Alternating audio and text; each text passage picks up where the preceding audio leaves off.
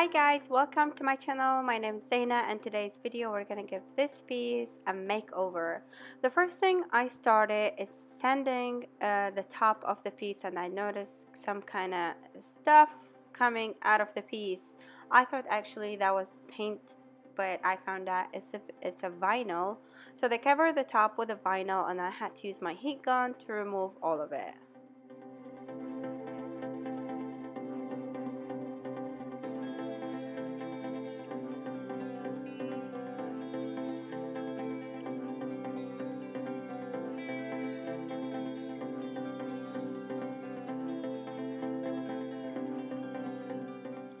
It was a little bit time consuming to remove all that all that vinyl but I love the idea of adding vinyl to the top actually protect it especially for small desk.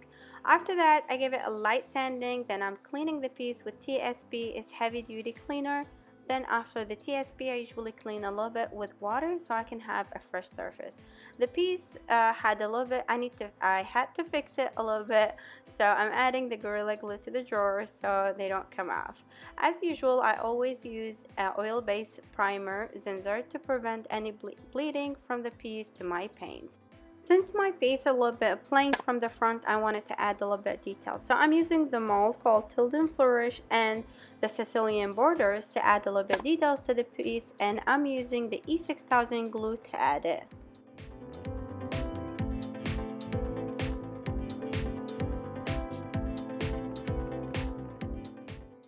I use the uh, amazing resin to, to create the mold and they, they're very easy to, to work with. I made a lot of videos if you want to check it out. It actually dries within 10 minutes so it's very fast and you can finish a piece if you want to add the details to it within a day.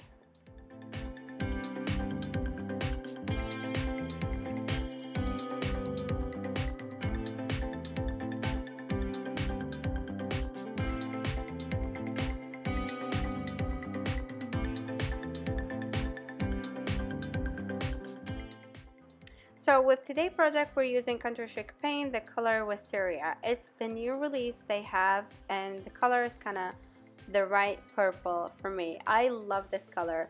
And with today's project, I'm not using a brush, I'm using my spray. I'm using Wagner sprayer. This sprayer is um, good for water-based paint and oil-based paint.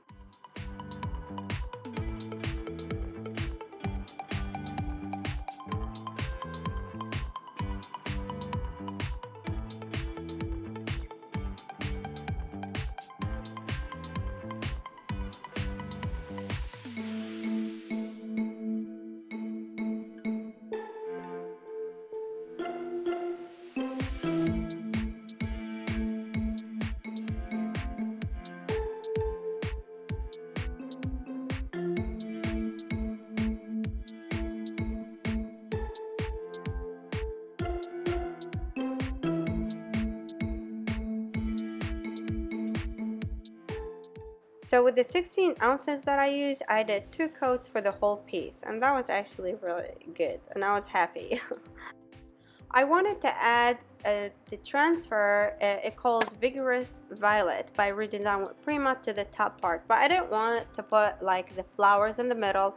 I wanted to create something a little bit different. So the transfer comes in six different sheets. You can put it on, or you can create your own style or the design that you like.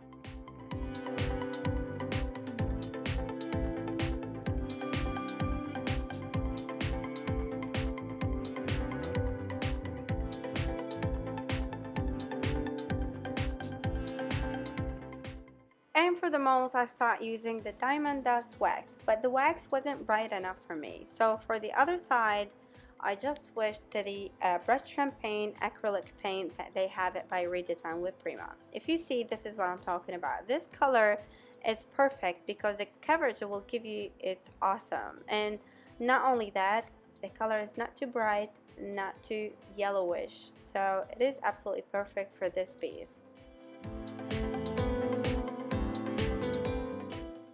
And for the drawers, I wanted to add something a little bit has purple in it and different color. So I'm using the tissue paper by Redesign with Prima called Lavender Fleur. it's a it's a little bit thick so it's very easy to work with and I'm using the decoupage gel to add it to the drawer. All I have to do is kind of spread my decoupage gel and use a cutter to cut the edges. It's very easy to work with because it's not gonna rip easily with that uh, my piece was done. This piece was sold the same day on marketplace. It's purple. Purple colors kind of sell really fast for me. Thank you guys for watching. Don't forget to like and subscribe to my channel